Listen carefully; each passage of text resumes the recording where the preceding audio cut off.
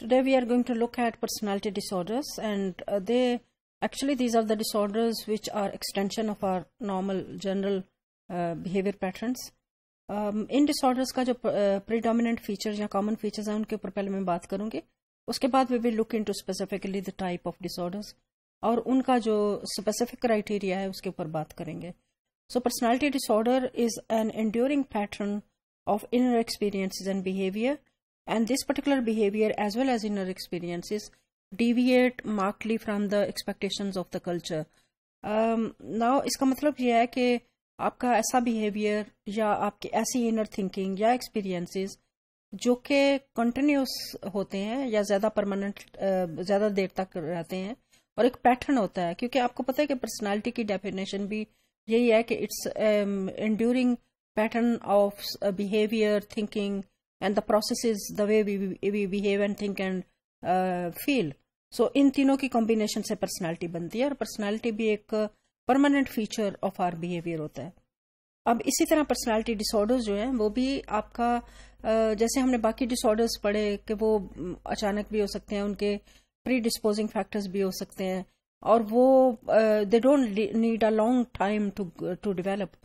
in personality disorders it's kind of a they take long time to develop. इसीलिए इनको या तो डोलेसेंट में आप डायग्नोज करते हैं या अर्ली एडल्टहुड में जाकर डायग्नोज होते हैं। So these are enduring pattern of inner experiences लेकिन ये ऐसे एक्सपीरियंसेस और ऐसी बिहेवियर्स होते हैं जो कि इंडिविजुअल से जो उसकी सोसाइटी या उसके कल्चर में एक्सपेक्ट किया जाता है, उससे वो ज़्यादा होते हैं। उससे वो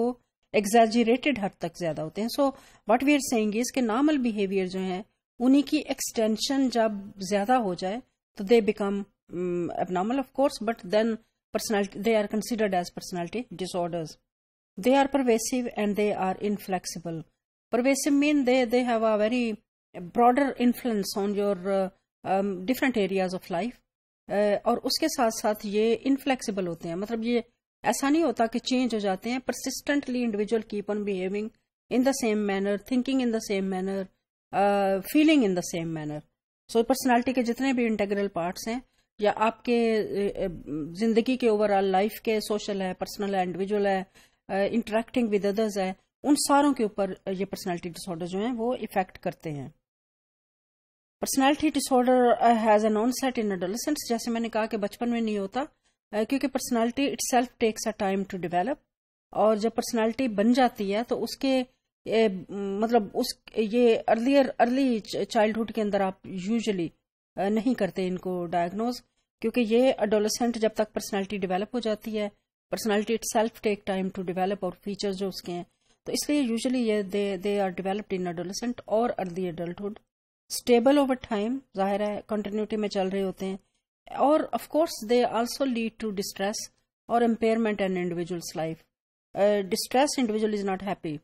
and at the same time उसकी जो फंक्शनिंग है या उसकी एम्पेयरमेंट है सोशल ऑक्यूपेशनल या दूसरे जो एरियाज़ ऑफ़ लाइफ में उसके अंदर नज़र आएगी। There are different types of disorders लेकिन पर्सनालिटी uh, डिसऑर्डर का एक और इंपॉर्टेंट जो फीचर है वो ये है कि पर्सनालिटी डिसऑर्डर्स तीन क्लस्टर्स में ग्रुप होते हैं। क्लस्टर्स uh, के अंदर फिर सर्टन um, डिसऑर्डर्स हैं।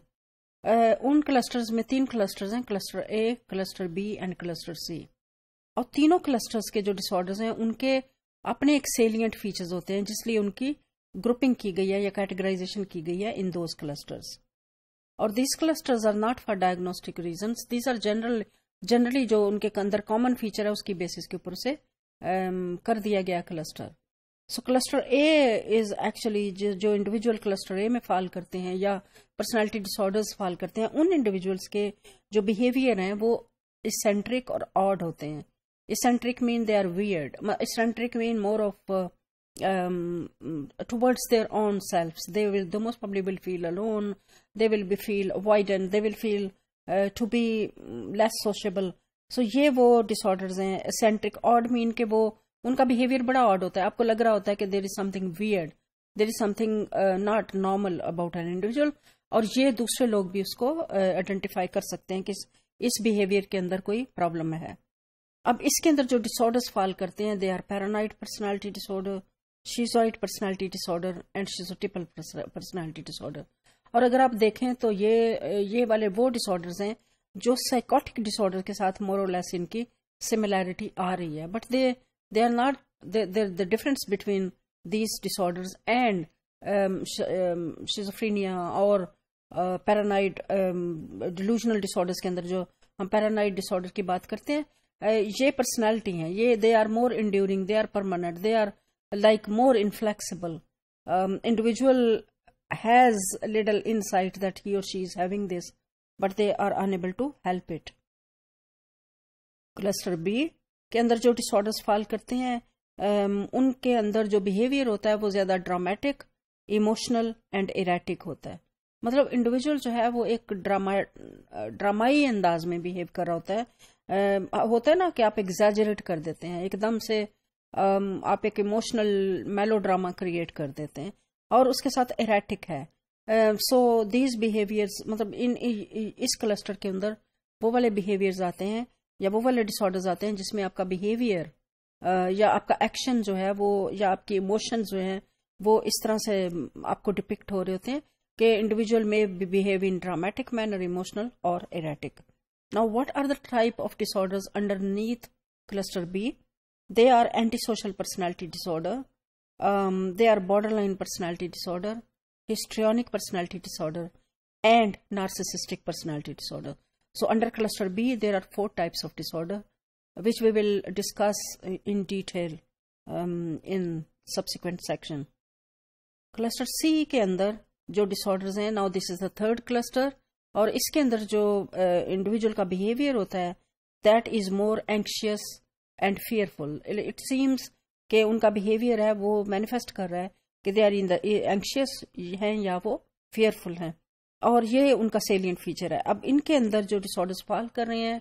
वो अवॉइडेंट पर्सनैलिटी डिसऑर्डर हैं डिपेंडेंट पर्सनैलिटी डिसऑर्डर हैं और ऑब्सेसिव कंपल्सिव पर्सनैलिटी डिसऑर्डर्स हैं। तो हमने ये देखा कि